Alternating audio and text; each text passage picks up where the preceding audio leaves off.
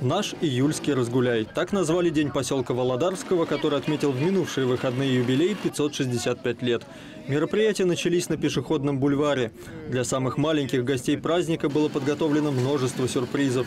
Батуты, рисунки на асфальте, катание на электрокарах и лошадях из Национального конного парка «Русь». Сегодня мы приехали в гости с нашими пони э, из пони-клуба «Охотничий двор». Это пони Сарбина, маленькая совсем девочка, и пони Винни у нас. Он черненький, вот такой толстенький, для старших ребятишек. Все желающие могли посмотреть фотоработы на выставке «Володарка вчера, сегодня, завтра» и проследить за тем, как менялся поселок. Год здесь живем, каждый раз все больше и больше народу, развлечений и так далее. То есть очень приятно, что все растет, развивается. Я очень довольна, что я уехала из старых домов, живу в новом, с удобствами, прекрасно. Спасибо нашим властям местным. Вы сами видите, как у нас дети развиваются, и школы, и все строится, сады. Я просто рада. Ребята из лагеря «Бумеранг» под руководством Веры Мандрыкиной подготовили большую программу.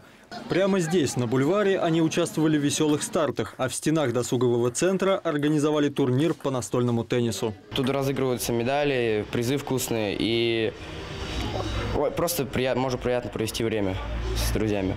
А те, кто постарше, играли на спортивной площадке в стритбол. В это же время директор библиотеки музея Елена Владимировна Сорокина проводила экскурсии для тех, кто интересуется богатой историей поселка.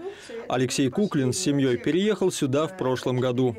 Приятно, во-первых, что столько старых вещей сохранилось везде в музее, здесь связанных с историей поселка. Ну, и очень много таких вещей есть дома у мамы с папой старых сохранились в деревне. А на входе в библиотеку развернулся книжный базар, где любой мог выбрать себе книгу абсолютно бесплатно.